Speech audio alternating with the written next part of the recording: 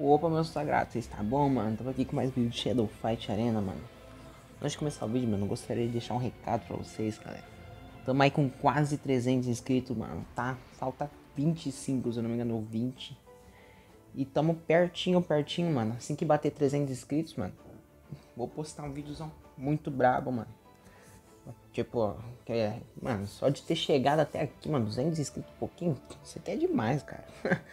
que parar pra pensar que há dois, três meses atrás eu não tinha nem 50 direito, cara. Então, tipo, caraca, é muita coisa, mano, pra mim. E rapaziada, o vídeo de hoje vai ser, mano. Primeiro eu vou falar pra vocês ficarem até o final do vídeo, pra vocês pegarem todas as informações possíveis, mano. Vai ser um vídeo que provavelmente eu vou dividir em duas partes, caso vocês queiram. Se vocês quiserem é só deixar nos comentários. Vão ser dicas atualizadas para iniciantes, mano. Pra quem já viu no canal aí, conhece, tem, do, tem dois vídeos sobre dicas. Só que os dois eram. Um foi no comecinho, o outro foi um pouquinho depois, não foi muito distante. Então, tipo, o jogo mudou bastante de lá pra cá, mano. O jogo, se eu não me engano, tem sete. Novembro? Tem sete meses, mano. Então faz uns 4, 5 meses que eu não posto vídeo de dicas, mano. Então, vou postar um pouquinho, mano, pra vocês, mano. Porque tem bastante gente começando o jogo agora, cara. Então, dá ajuda pra vocês, mano. Então, tipo, quem for antigo no Shadow Fight, mano, não vai ter muita coisa útil não no vídeo, cara. Vai ter uma coisa ou outra, talvez, mas pra que, é mais pra quem é novo, mano, tá ligado? Rapaziada, então, vamos começar do básico.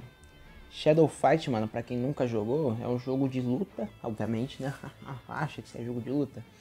Só que do, desde o 1 até o Arena, que no caso, é no caso seria o Shadow Fight 4, necessariamente falando, Mudou muito o sistema de combate. Como que funciona Shadow Fight Arena? É uma batalha 3x3, onde você escolhe três personagens, mano, diferentes tipos. Tipo, cada personagem vai ter o seu tipo, seu estilo de luta. No, no caso de... Como é que fala? Estilo de lutas, no caso. Que, por exemplo, vai ter a Legião, a Dinastia e os Arautos. Cada um tem um jeito de lutar diferente. Onde quem derrotar os três personagens do outro primeiro, ganha. É basicamente isso, mano. Só que também, no caso de hoje em dia, também tem os eventos, mano. Que dependendo do evento, você pode jogar de diferentes formas, mano.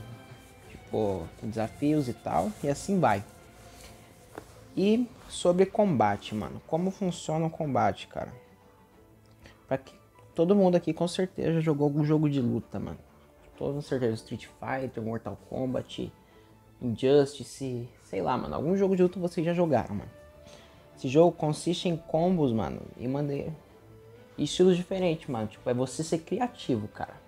Que que se vocês quiserem eu gravo um vídeo sobre combos, mano, para facilitar, galera, que se eu for falar de combo aqui, meu Deus do céu, cara, vai demorar muito, mano. Só que tem um porém, rapaziada. O jogo tem um padrão também. Se você apegar muito ao, ao padrão, você vai sofrer muito, porque hoje em dia o jogo ele sofre mudanças diariamente, mano. Não diariamente no caso dia a dia, né? Mas tipo, de tempo em tempo, os personagens são alterados, algumas habilidades mudam e também são adicionados novos personagens. Até agora adicionaram dois ou três, se não me engano. É isso aí mesmo. Eles adicionam um personagem novo a cada um ou dois meses, mais ou menos. E assim vai. E também, rapaziada, pra ajudar vocês, mano, a evoluir os personagens no caso, você vai ter a sua conta, né? Tal cada nível você vai desbloquear uma maneira de, nova de desbloquear personagens diferentes, tá ligado? No começo você vai, já vai ter um time básico e você vai desbloqueando conforme for passando. Aqui, ó, subindo de nível, você vai desbloqueando personagens novos e também atributos para sua conta. Entendeu? Que facilita bastante, mano. Demora bastante? Demora, cara, mas assim vai. E como upar os personagens aqui nesse jogo mais rápido, mano? Você vai. Quando você ganha uma batalha, você vai desbloqueando o baú. No caso aqui, ó. Um baú de herói, que seria o baú épico aqui. Você vai ganhar em cartas. Tipo um Clash Royale, pra quem já jogou. Clash... Não, Clans não, né? Yu-Gi-Oh! Duel Links e assim vai. Como você upa personagem? Obtém as cartas para upar personagem. Meio de baús, jogando ranqueada e clássica. Por meio do passe, tanto pago quanto grátis, você vai ganhando baús e recompensas.